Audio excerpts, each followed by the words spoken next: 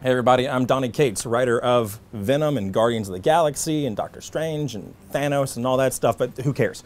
I'm here to tell you guys about a massive storyline that is about to blow the entire Marvel U apart. A story that begins in Ryan and I's free comic book day story. It starts there, but where it goes is pretty cool.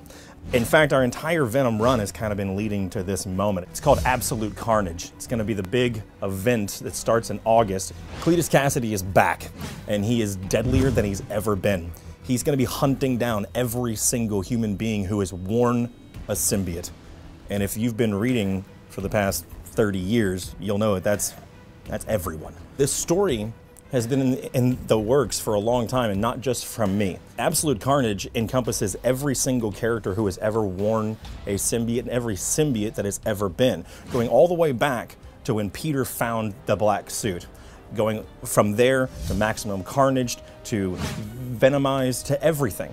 It's every single character that has ever worn a symbiote is a target everyone is in danger. And it all starts in August with Absolute Carnage number one, which Ryan and I feel pretty strongly is going to outsell Jim Lee's X Men number one. So stay tuned, folks.